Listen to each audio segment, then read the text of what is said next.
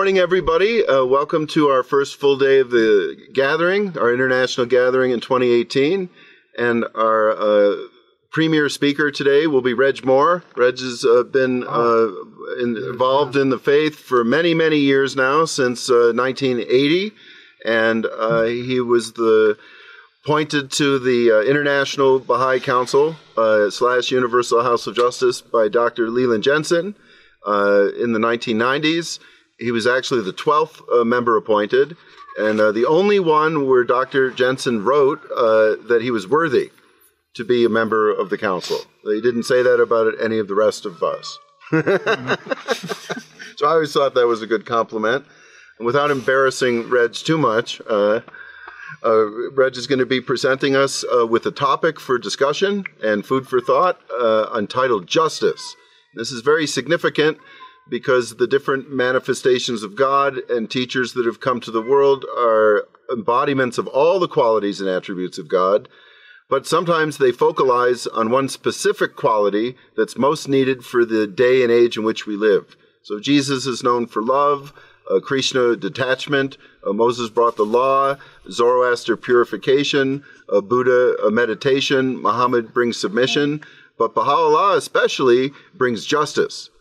And the world has never seen justice before. And with no further ado, Reg, uh, take us on a trip. All right. Well, thank you, Neal. It's a pleasure to be here. Um, the manifestations of God, from Adam to Baha'u'llah, have recommended in each of their revelations uh, something called the Golden Rule.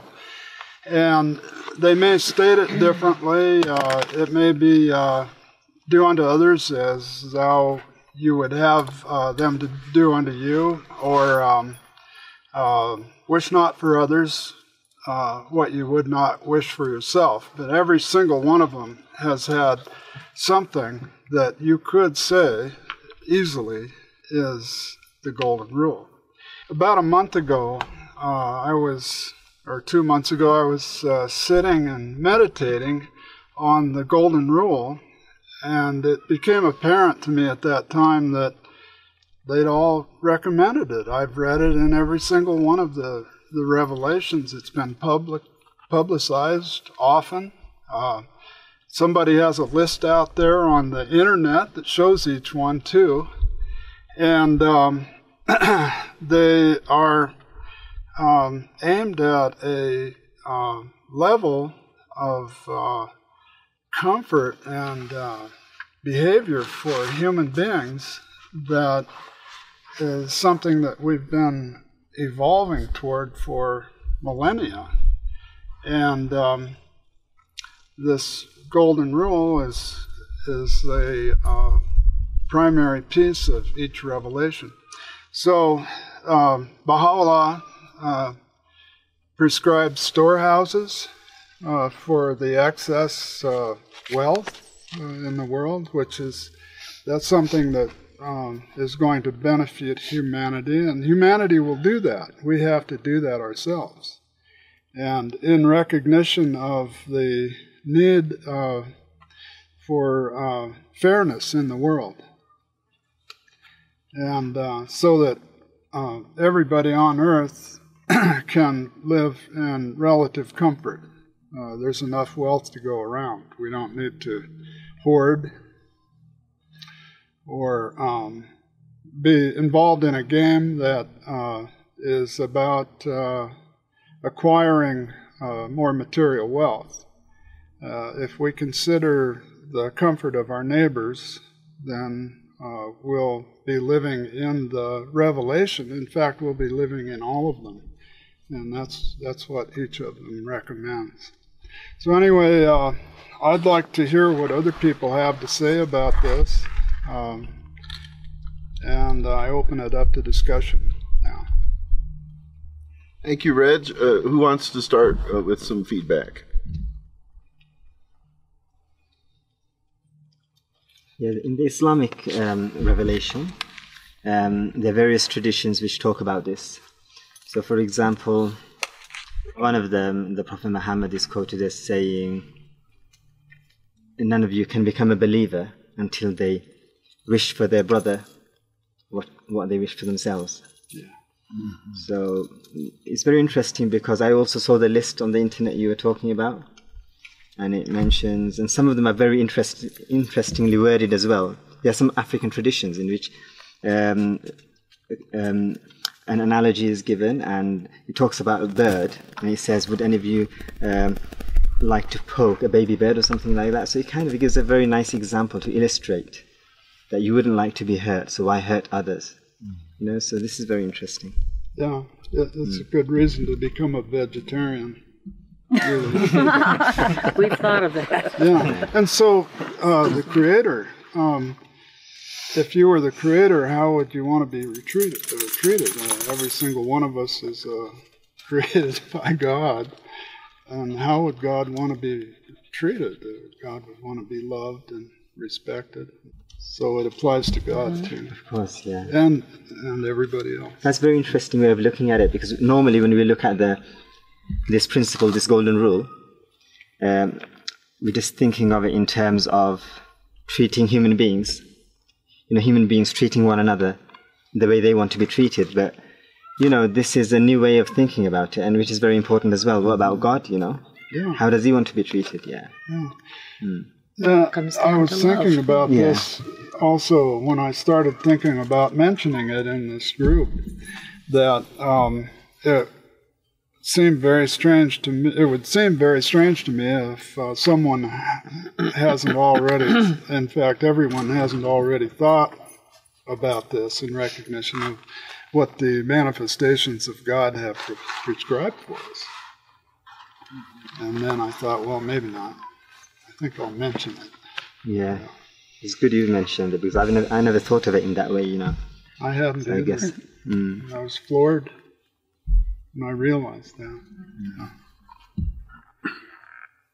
And then I was also thinking when you were talking, the interesting thing about God is that He says, in every face you will see the face of God. And so the way that God permeates all things, and then the way that we are able to manifest the light of God in our own way, the way that we have been enabled to do so, I feel like it takes it to a new level on how we are supposed to treat one another or to interact with one another. Yeah. Yeah, it's a lot um, nicer for everyone to be able to do that.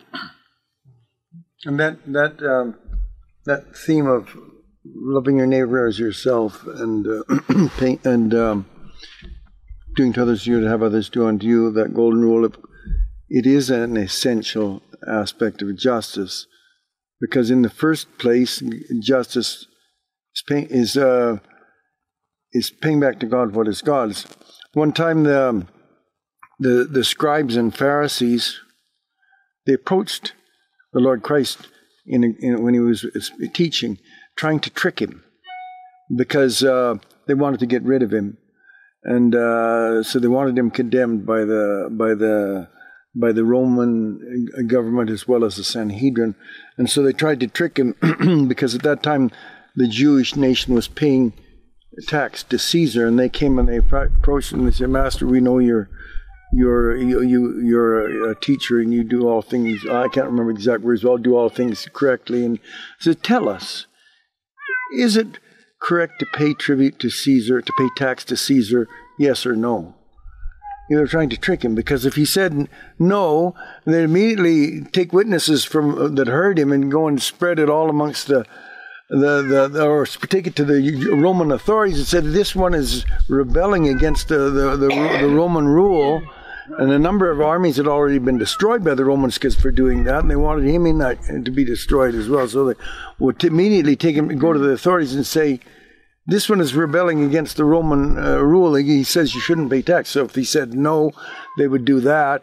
If he said uh, yes, then it's correct to pay. Then they they they'd say that he's he's a, a, traitor against his own people because the Jews there was a, a wide sentiment of resentment against the, the, Roman rulership. They thought they should be a theocracy, uh, you know, the way they were before, governed yeah. governed by God alone, and uh, and making their own decisions and rules in every aspect. So they tried to trick him. Of course, they couldn't trick him.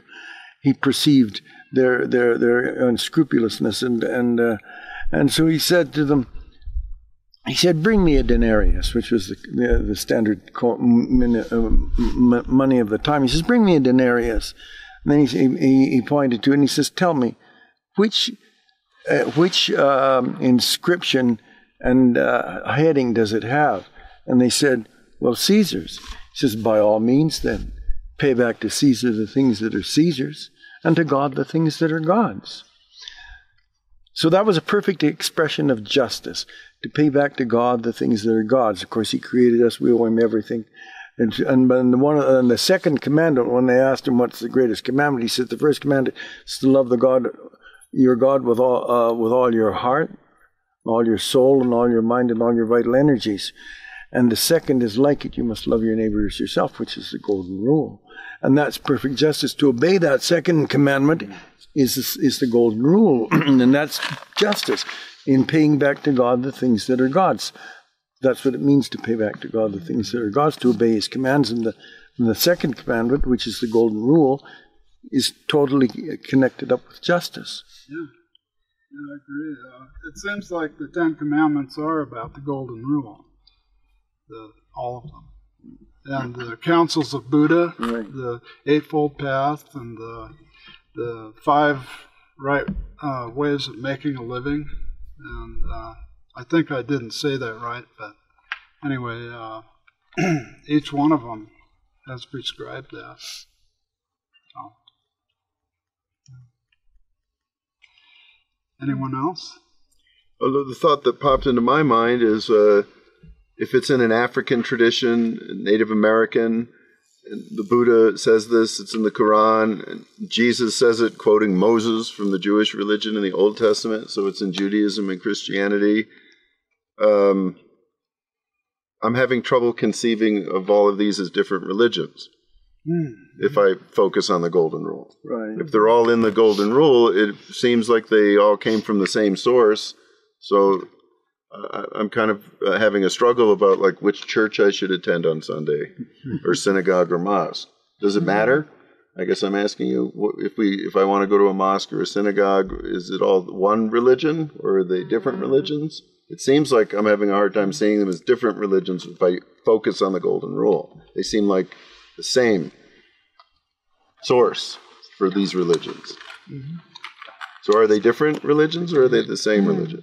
They all, they all started off as the same. Basically, they all started off as the same, but humans and and uh, and uh, hum, human ego and things like that have caused some caused them to to deviate from the true teachings of their own founders to, to a degree. And and uh, I I've attended more than four hundred different Christian churches. Yeah, more more than four hundred different Christian churches, but uh, I'm always cautious to try not to to to to uh, to compromise my own Baha'i faith in attending those churches. First, when they stand all stand up and start singing about the Trinity, for example, I don't endorse it, and I don't I don't uh, you know I don't because there are false teachings amongst the the Christians. Anything that they teach that is false or, or support that is false or something like that.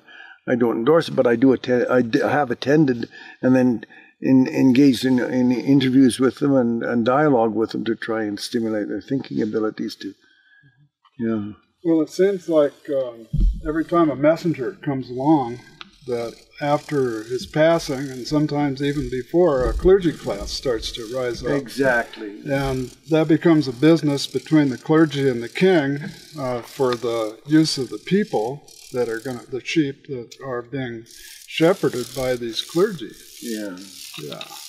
exactly. It happens all the time. Even the ones that claim not to have a clergy class, they eventually develop one.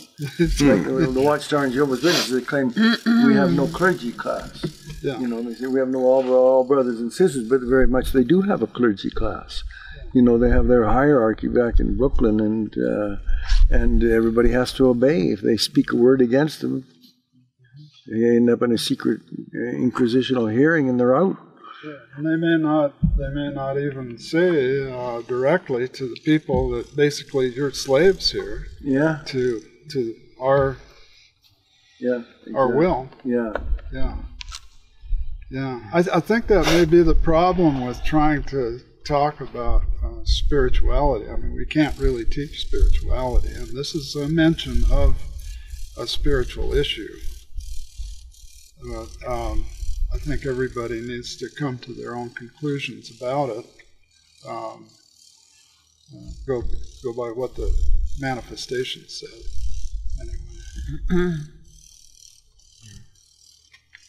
To your question, Neal, um, you know, there's the golden rule, there's the unchanging aspect of every revelation that comes, but there's when a manifestation comes, he comes and he brings revelation in two parts. Uh, religion is progressive, with all having a common foundation.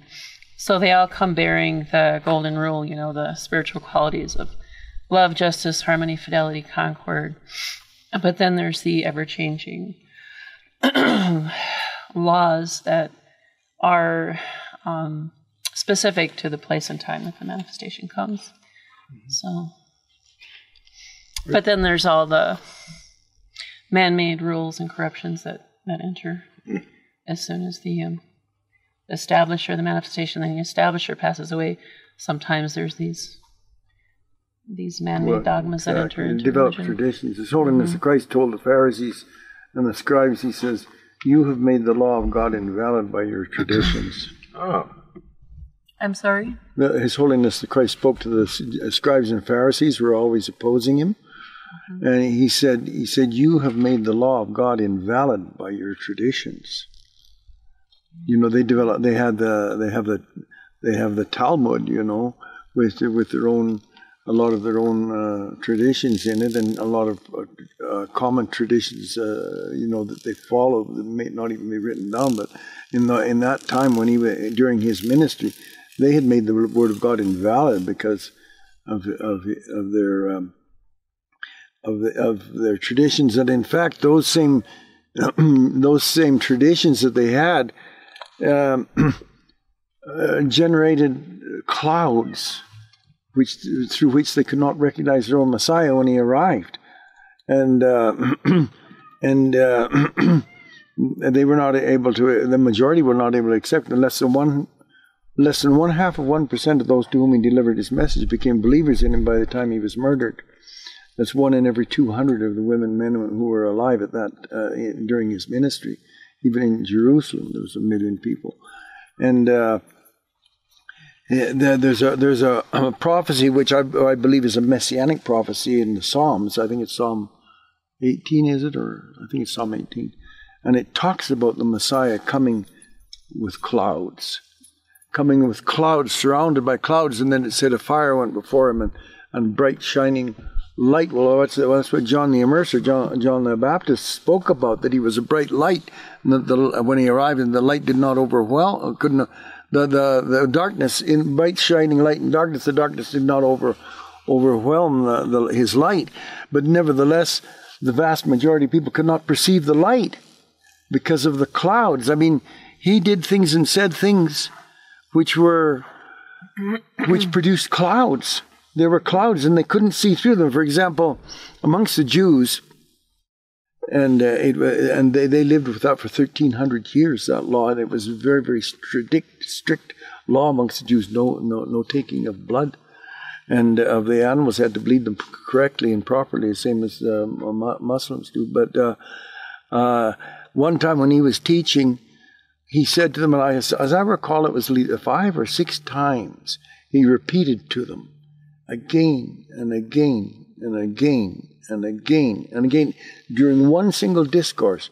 He repeated to them, You must eat my flesh and drink my blood, because my flesh is, is oh. true food and my blood is true drink. If you do not eat my flesh and drink my blood, you have no life in yourselves. He repeated that in different ways five or six times in the same discourse. And his listeners, they started to disappear. They started to walk away. He said, This speech is disgusting. Who can listen to it? Because they were they were 1,300 years of, of, of, of tradition, you see. But then uh, further on in a verse, when he was talking to his own apostles and disciples, he says, he says the flesh is, is no use at all. It is the spirit that, that, that gives gives life. He was giving them a spiritual teaching. It was his his his his his fulfillment of all of those sacrifices and blood sacrifices that the law was there for to to make the Jews learn and think and recognize there is Messiah when he arrived. The, the, all of the, the, all of the laws related to blood and, and sacrifices in the temple, and that's why he was giving them the spiritual fulfillment of it his sacrifice and pouring out his blood as, as, as the Redeemer was the fulfillment of that. That's why he said, You must eat my flesh. But he was talking about a spiritual acceptance of his of his teaching, and they wouldn't have it. Some some stayed, and then he and they were going away, walking away one after another, and, uh, uh, totally disgusted. And he says to his apostles, he said, "You also," he says, "Will you walk away?" And Peter said, "Where will we, where will we go, Lord?" You're the one who has the words of everlasting life. And, uh, and, and that was because they could see the light through the clouds. But the messianic prophecy in in in uh, Psalm 100, Psalm 18 talks about him. says It says the heavens were bent down, and he descended. God descended through his holy messenger. He descended, and it says that there was fire before him and Clouds surrounded him. Those are the clouds. He said so, so, so many things to the Jews which they could not accept because of their traditions. Their traditions produced clouds, but the ones who could perceive and had were true seekers and had honest hearts, they were able to see his, the light right through the clouds, and they became faithful and dedicated believers didn't cause any cognitive dissonance. yeah. A bunch of heat in their uh, yeah. noggins yeah. create that confusion. Yeah. Well, there were so many things that he said, that, and uh, and um, the scribes and the Pharisees were always saying Elijah must come first. Elijah must come first, and they were teaching that. And they said he's not Elijah. He's not doing this. He's not doing that. He, he's not he's not Elijah. John the Immerser said that he, he that he was not the Elijah, and uh, and uh, and uh, so so they were saying uh, they were saying Elijah must come first before the Messiah. They were saying Elijah must come first, but they, even the disciples up until right near the end, when he went up on the Mount of Olives and they saw the vision of Moses and Elijah, and the disciples came down, they asked him, said, "Why are the are the priests saying that Elijah must come first? He says, "I truly I tell you," and he pointed to the future, which is His Holiness the Bab. He said, I tell you truly, Elijah will come. That's a prophecy of the future. future. He pointed back and he said, and he has come. And they did with him whatever they wanted because then it says, then the disciples understood that he was talking about John the Immerser because they chopped off the head of John the Immerser. And, uh, and, and he was the Elijah. Although he wasn't that person, he fulfilled the role. He fulfilled the role of the promised Elijah. Nobody knew it. None of the Jews, not a single person on earth knew it at that time except His Holiness the Christ Himself. And even for three years of His ministry, no one knew, and the disciples didn't say until the vision triggered their question, Why are the priests saying that Elijah must come? Then He said, Truly I tell you, he will come, and he has come. Then they realized it had already been fulfilled. But the vast majority were not able to perceive that. They had not been able to perceive that Elijah had already come. And they were saying, Where's Elijah? Elijah must come first. According to their uh, understanding, they must be able to recognize Elijah. And they didn't have true seeking hearts, and so they, like the apostles and disciples, so they never did recognize Elijah. Mm-hmm. Never did recognize him. They were, they were so immersed in the tradition. Exactly. That they and they had their time and their lives invested in it. Yeah. That they had embraced that corruption. Yeah. yeah. From birth. yeah. We're in a very similar circumstance right now. Say, yeah. About the same now. Oh, thank you, Yeah, Ross. we're in a very, very similar circumstance right, right, right now. We're, we're, we're, there's, there's tests and uh, and uh, and things which appear to be clouds which present prevent us from perceiving the the, the, the truth and even uh, recognizing the true guardian things like that. There's so many things that you know only the true seekers of pure hearts are the ones that are able to to, to keep on progressing spiritually. Yeah. Yeah, I, I never knew that, Ross. Uh, he says he will come, and he has come. So he both identifies the Bab and John the Baptist, and they did whatever they willed to both of them.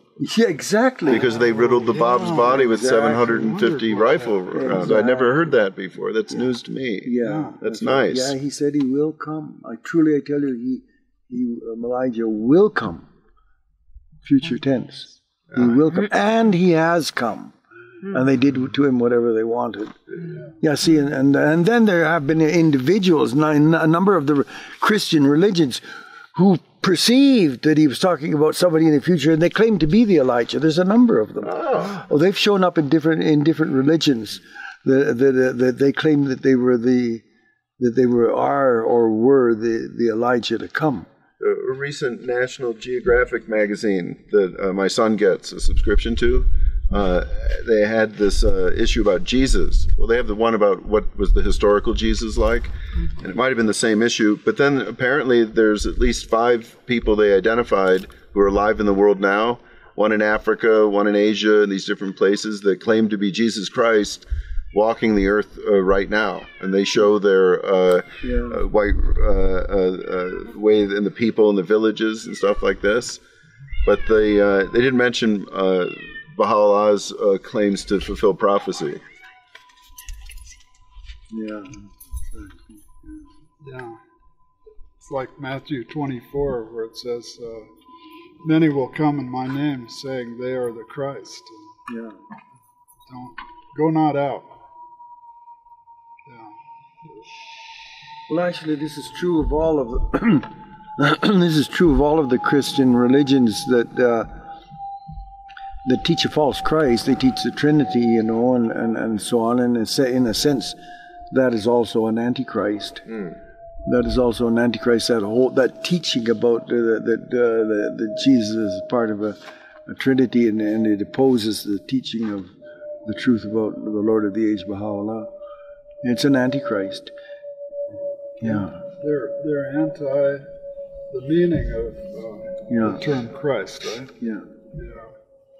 Which means anointed descendant of David who Yeah. sits upon the throne. In answer to Oh, your huh? question, sorry, sorry, Reg, do you want to carry Go on? ahead, go ahead. Yeah, I was going to say, Neal, you know, your question which you asked, it is about the golden rule. I personally think um, the answer is yes, it's okay, you know, for people to go everywhere, wherever they like. And the reason for this is um, because despite, you know, all the corruption, despite all the differences, um, you know, between all the different religions, the golden rule actually does make them one religion and um, what you, you said, Kay, you know, the spiritual part of the revelation, and the values which are never, uh, which never change, which always remain the same. They actually do make all the religions as one religion. It's just for us to be able to see all these religions as the same religion. Then uh, we can feel comfortable whichever church you go to. Um, it's like when Baha'u'llah says there should be an additional language and he says, whichever country you go to, you feel as if you're in the same country. Uh, you're in your own country because people are speaking the same language as you. So similarly, I feel that this is how we're supposed to feel. Uh, whichever church we go to, we should feel that we're all part of the same religion. But as Ross, you also mentioned, we should also, uh, we have a right to actually protect ourselves and our own faith, you know, from the corruption. So you've been to so many different churches but nevertheless you are at the same time you're firm in the covenant and you're not actually diluting your faith this is also very important each person has to actually uh, their own personal beliefs you know they should protect them You know, right. We have to be aware of the of the of the teachings of our own faith and watch for contra- contradictions things that violate. We don't want to endorse those. For example, even in the Christian churches, they celebrate they celebrate uh, what they call the Lord's Supper or the Lord's evening meal. You know, they take the mo- memorial, and uh, of course, that even their version of that is so badly corrupted in most of the churches. But um, they, um, nevertheless, the the Apostle Paul he spoke about that Lord's evening meal or the memorial of the Lord's death because he says, "Keep doing this in remembrance of me." He says this this bread means my body, and this drink, this wine means my blood. He didn't say it is his blood. He said the actual actual Greek translated correctly, says, "This means my body." And this means my my body. It was a, it was a metaphor, and uh, and he he gave them that bread and wine to drink at the to, and once a year on Nisan the fourteenth, the, the the the the Jewish in the Jewish calendar, the time that he was sacrificed. Nisan the 14th. That's when they're supposed to gather together and remember, not every twice a day or twice a week or once a month or whatever the way they do in the Christian churches. And furthermore, the Jews were celebrating with uh, in, in, in obedience to a very strict law about using unleavened bread, because leaven is a symbol of sin in uh, you know in in, in, in at, at that time, uh, and therefore. And Paul mentioned that in his writings, and and so they were supposed to use unleavened bread. And here you see in these churches a big fat loaf of leavened bread, and they're and they're taking, you know, they're saying that the Lord Christ was sinful. You see, the, the because they're using this leavened bread instead of the unleavened bread. So there's a lot of things wrong about there. But furthermore, Paul said when he's talking about giving command to to Christians to to to to, to drink the bread and remember the memorial of his death once a year on Nisan the fourteenth. They uh, they uh, he also said keep on doing. He said keep on doing this, and so he said therefore every time you do it, you re- you remember you're remembering the death of the Lord, and then he said until he arrives until he arrives. Well, he arrived. Baha'u'llah came in fulfillment. Therefore, for for uh, for um, uh, a Baha'i to go in and participate in the, in their memorial service and start taking the bread and the wine, we're denying our own faith that we believe he arrived because Paul said until he arrives. So that's uh, that's already uh, null and void now. That that memorial, that Lord's Lord's Supper. And I mentioned this to a, to a Baha'i who was on the internet. I never heard back from him. I mentioned I, I, I explained that to him. He said he was talking about going to the churches and and taking the memorial. I asked him, I said, when you go to church, I said, do you partake of the memorial and eat the bread and wine? He said, yes, I do. And then I explained to him, you know, as Baha'is, we have to be careful that we don't violate the principles and teachings of our own faith by when we go to churches, you know, because there are things in there which are stumbling blocks which are not correct for us to endorse. But we, if we do it carefully, then we can associate with them and try and stimulate their thinking abilities and and sow some seeds if we can. Well, I, I didn't know that either. Uh, so, if we go to a church, one of the options we could have is not to take the bread. Uh, I have a Jewish background. We call that matzah, and you can buy it at the grocery store. That's unleavened bread, yeah, yeah. matzah. Yeah. So instead of having uh, the bread, we and we but, we but we obviously we are in fellowship, uh, you know, with all the people in these congregations. Yeah because Baha'u'llah says we should can associate now with people of all churches and all ways. Yeah. And so if we wanted to, we would say, well, I'm not going to take the bread. And they would say, well, why not? And then we say, well, it, it says that he said to do it until he arrives. Yeah. And because we uh, recognize Baha'u'llah fulfills these prophecies, and he's arrived, uh, that you know I'd prefer not to do that right now, uh, and that would give us an opportunity exactly. to tell them who Baha'u'llah is, yeah. uh, if we chose to uh, invoke that exactly. first. And I never knew we could do that invocation. Yeah, that's a new invocation. Yeah. Thank you. Yeah, yeah. So many things. You think it would be okay if we did take the bread, though? Well, the thing is, the thing is that uh, the thing is, I would I wouldn't do it myself because because it does. Uh, we do believe that the Baha'u'llah, the, the the, the Christ has, has arrived, and Paul said, until he arrives. It's quite clear in his writings. Yeah. And then, if we accept that uh, uh, Muhammad is the next promised one after Jesus, uh, Muhammad did away with the sacrament. So he forbids the drinking of wine and then they don't yeah. break the bread. Exactly. So, so it was definitely stated that it came to an end. The continual burnt offering was changed to the Eucharist, comes to an end with the coming of uh, Muhammad. Muhammad yeah. And so until he arrived, and then the people who accepted Muhammad don't do this from that point forward also. Yeah, that point forward also fulfills it, right? Yeah. I just have a question. I was just thinking because people are there are different levels of progress. Uh. So the different religions, they are like different grades in different different schools. So. Mm in that sense, you know, these people, the Christians, they're actually celebrating this because they're not aware of the return of Christ. So it's valid for them, you know, for Oh. them. Yeah. Oh. So in that sense, when we participate with them, mm-hmm. you know, if we just do it as well in the memory, and because it was a sacred act, it was a religious act at that time. Mm. So you know, to do something like we go to memorials of the prophets you know, who passed away a long, long time ago. It's just something we're, we're commemorating, and it's an act of worship as well. So won't it? It's just a question: Could it be, in that sense, justifiable, like for Baha'is to actually? Well, I wouldn't pass judgment on anybody that did it. That's for sure.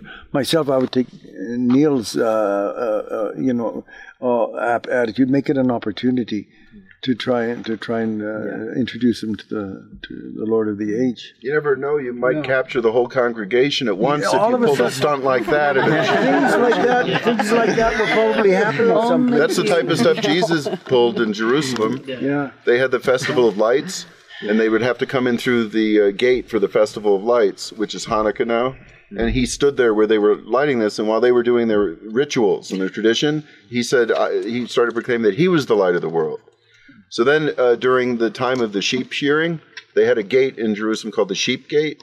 So he stood out there. You have to realize he was only four feet tall and had a hunchback and one eyebrow and couldn't grow a beard. He, so he was kind of looked, uh, you know, different than p- most people. Also, Those are clouds too, weren't they? yes, the cloud of his body interferes with the image they might have. Yeah. Anyway, he stood in front of the sheep gate, and as they were herding their sheep in, right there, while they were doing this, he was announcing uh, that whole dialogue in John where he says that he's the sheep and the true sheep, and then he says that he is the lamb, and then he says, oh, he says he is the door by which the sheep enter, and then he says he is the lamb, and then he says he is the true shepherd.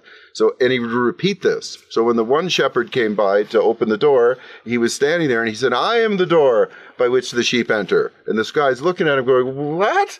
And then he opens the actual door there and he lets his sheep in. And as the sheep are going through, he then says to the shepherd, uh, I am the, the true sheep, the lamb, you know? And then when the shepherd went through the door, uh, before he closed it behind him, he yelled uh, after him with a Parthian shot, I am the true shepherd. Well, then the next shepherd would come and he'd do this again. And he stood there all day long doing this over and over and over again. Amazing. Yeah. Well, anyway, they crucified him. You know, he was annoying. Yeah, yeah, exactly. Yeah. So anyway, what I'm, uh, he he did the opportunities. We can do take opportunities to make symbolic acts. Now that I know about the invocation of the bread and the wine, I, I wonder what I, I might do with that in the Right. future. in my immediate future. yeah. Yeah. Very stimulating, Reg. Did you want to capstone this off with some final comments? No, I think uh, The hidden word of we, we covered an awful lot of ground here today, everybody. And uh, thank you for participating in this discussion. It's been very uh, educational for me as well. Thank you, Ross and Neal. Thanks, Reg. And Yusuf. everyone. That- and then, and then there, the Okay. hidden the hidden word of Baha'u'llah. uh, He kind of defines justice a little differently. Also, I think it's the second hidden word we can look up and read in the hidden words of Baha'u'llah. And he says that we should all see the truth with our own eyes and not through the eyes of others, and that this is true justice that we can experience by coming into contact with our own experience of uh, reality through justice. But maybe we can't do that unless we're also living the life of practicing this golden rule. Maybe if we're not living the life of the golden rules, we have like a thing that prevents us from seeing the truth with our own eyes. like a veil. So thank you for uh, re- helping to lift this veil by uh, giving a deepening on justice. Well, thank you all. Thank you. Thanks, everybody. Thanks, Reg.